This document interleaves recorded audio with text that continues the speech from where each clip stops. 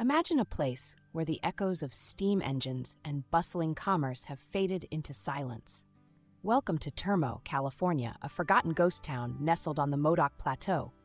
Once a pivotal hub for the Nevada California Oregon Railroad, Termo thrived briefly in the early 1900s before time and progress left it behind.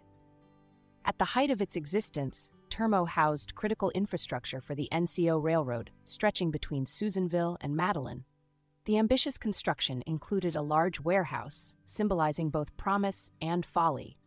Infamously known as the $50,000 Folly, this structure marks the discord and challenges faced during Termo's rushed rise.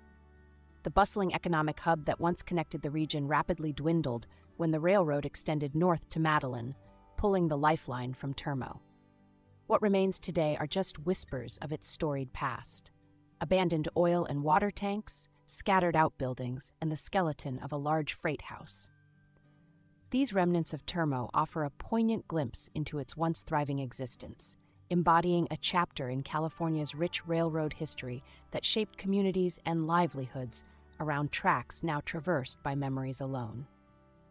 Travel back in time through Termo and reflect on the transformative power of transportation as the majestic train that once chugged through this depot fades into the annals of yesteryear. Could these deserted structures inspire an interest in preserving history hidden in California's forgotten corners?